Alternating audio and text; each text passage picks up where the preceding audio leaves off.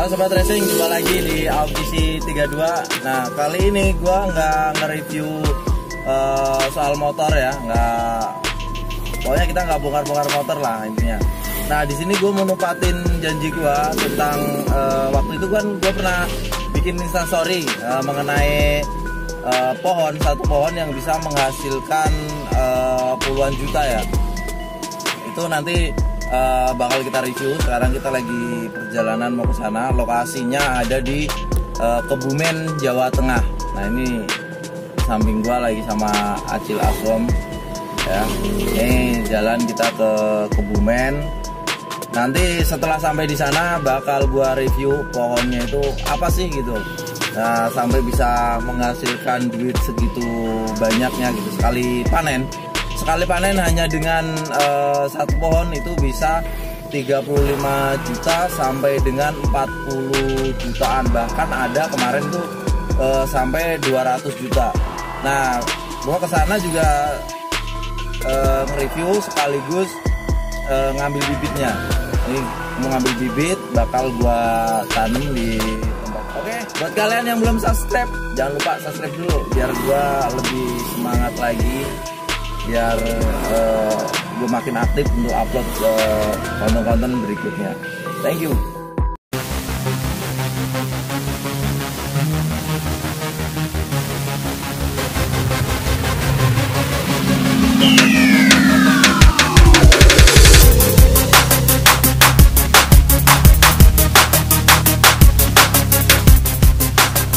Oke kita sekarang udah mulai masuk di kota Magelang.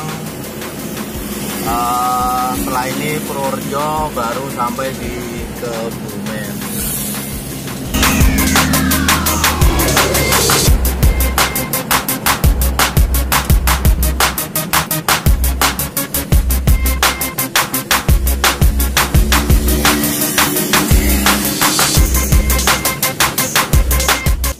Jadi ini perjalanan kurang lebih masih sekitar 2 jam 15 uh, menit.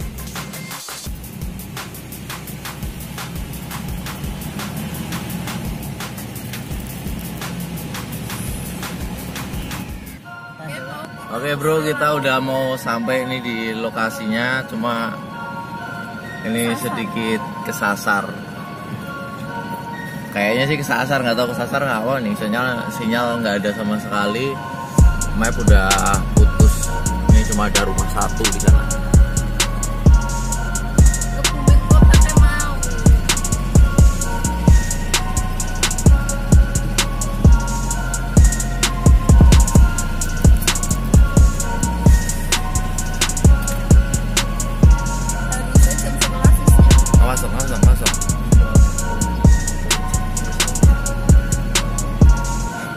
jalan luar biasa eh?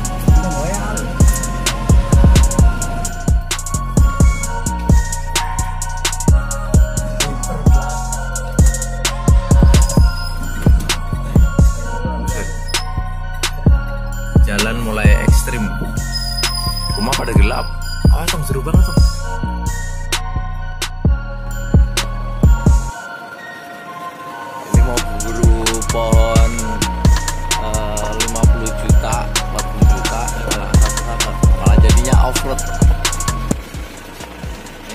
jalannya bener apa enggak ini tambah jelek aja ini soalnya.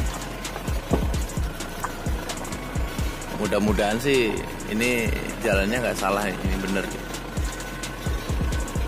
Tapi kayaknya kita tambah nyasar karena nggak ada map soalnya. Kita bingung juga mau nanya orang nggak ada yang ditanyain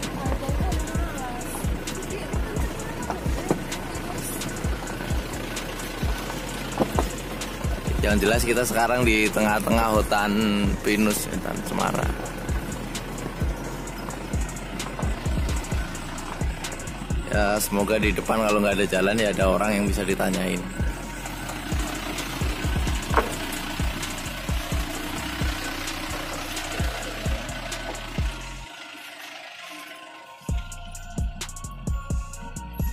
Ini jam berapa ini? Jam setengah 12 malam nggak ada orang nggak ada orang sama sekali. Ini tengah hutan ini. Bener orang. Jalan.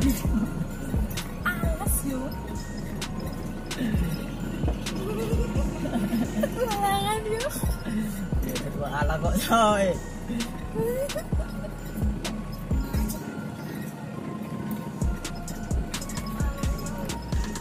Tapi tepaknya bekasnya bekas truk truk itu Lumayan.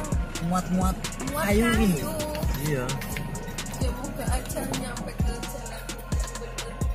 Yang bunyi pasti mau kandan cek tapi umur nih ngerti nih mandor-mandor hutan dari dene anak buah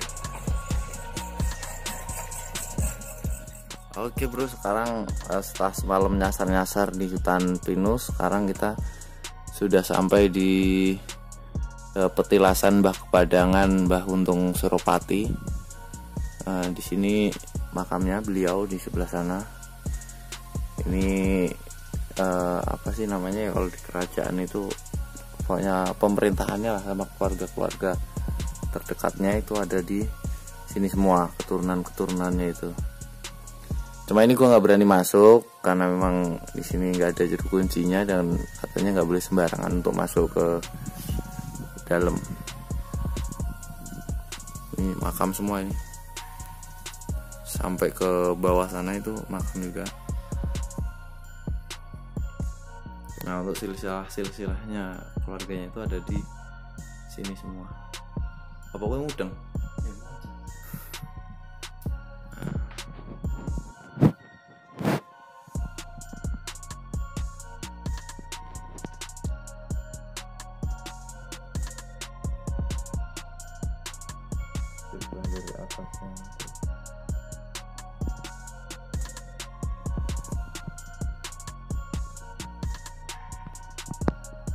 Segitu pokoknya banyak banget nggak mungkin dibaca satu-satu lah ini.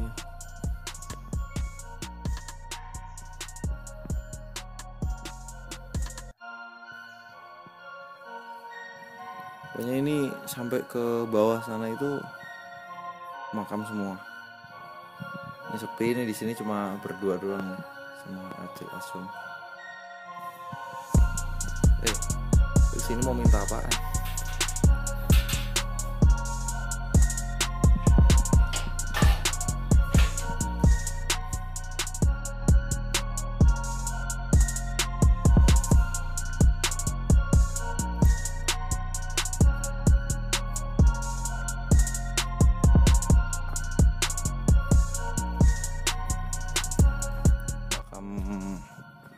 Tadi putra putranya urut urutannya patih patihnya dan semua kerabat kerabatnya ini ada semua di sini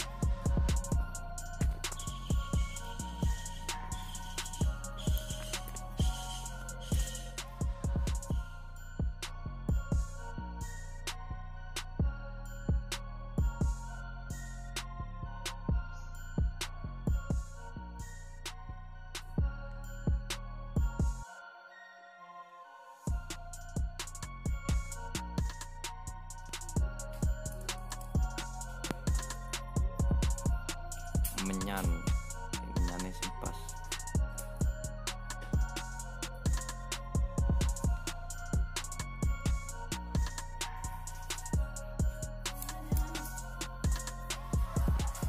Oke bro, jadi ini nih, ini eh, bibit pohonnya.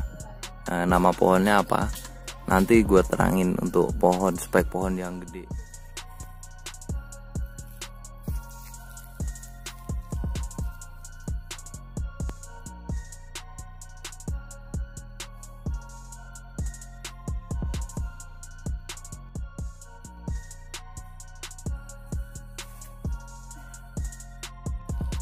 Oke bro, jadi ini pohonnya namanya pohon eh, jenitri atau ganitri atau bahasa Indianya itu rudraksa. Nah ini yang menghasilkan eh, buah dan hasilnya penjualan itu kisaran sampai 45 jutaan lebih yang ini. Sama yang ini, yang ini udah menghasilkan sekitar 35 juta cuma udah di pangkas atasnya supaya lebih ini e, pertumbuhannya percabangannya lebih banyak ini di pangkas atasnya Ini kebetulan di sini lagi nggak berbuah, lagi nggak musimnya, jadi nggak ada buahnya. Kalian bisa searching di Google tentang eh, pohon genitri ini atau rudraksa atau ganitri.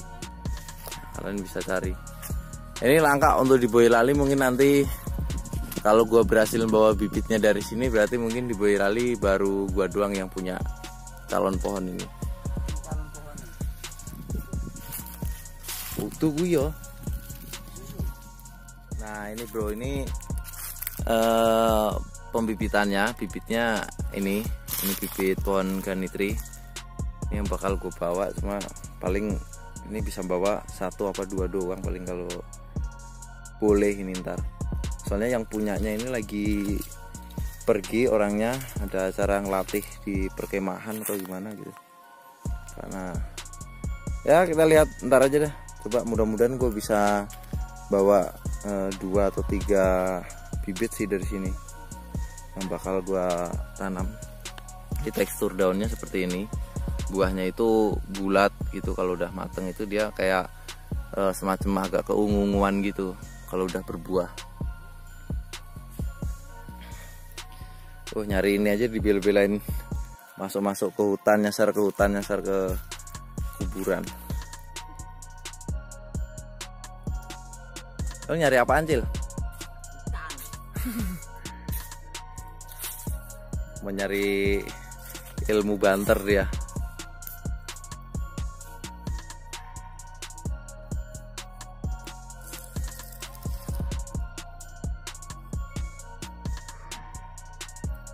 Ini lokasinya ini di Kebumen.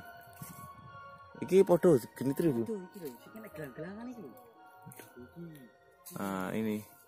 Ini kemarin ada infonya, ada yang bisa sampai dapat 200 juta nih pohon yang udah sampai segini buahnya, hasil buahnya itu.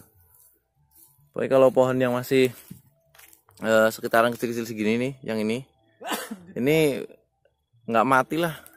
Eh, 10 jutaan mah dapat 10 juta 5 juta. Jadi daripada lo nanem jati, mendingan nanem ini buat kalian yang suka tanam, yang suka pertanian, karena jati lo tiga tahun belum menikmatin. Kalau ini gini tri dari bibit ini tiga tahun insya Allah dua tahun dua tahun tiga tahun udah nikmatin lah. Minim minimnya ya tiga juta lima juta udah dapet ya minimnya kan bicara banyak minimnya. Kalau banyaknya mah banyak.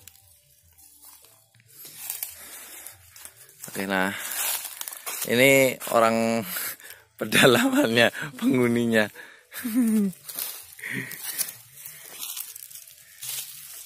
Ada ikan ikan mas juga. Nih pohonnya.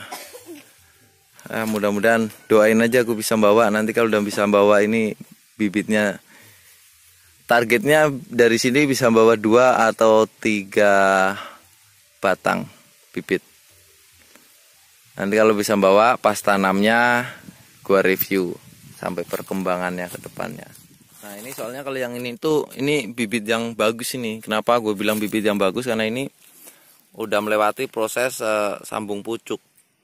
Jadi batangnya ini batang yang uh, bibit yang biasa, bibit gantri yang biasa. Nah seperti ini ini yang belum jadi, belum sempurna jadi. Nah, jadi modelnya memang harus disungkup, sungkup tutup plastik kayak gini. Uh, untuk menjaga kelembapan supaya nggak kering. Nah kalau udah jadinya seperti ini. Hmm ini calon bibit bagus atasnya itu bibit bagus kira-kira dikasih nggak ya